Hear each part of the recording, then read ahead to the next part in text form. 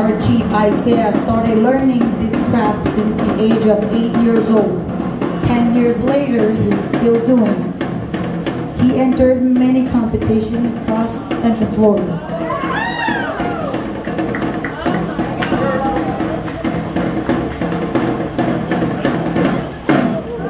In an attempt to put the fire on his feet for five minutes.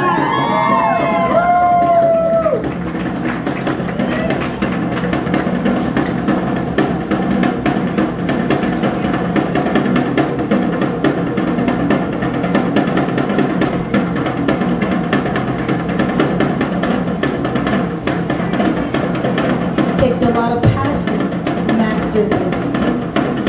And Isaiah definitely has it.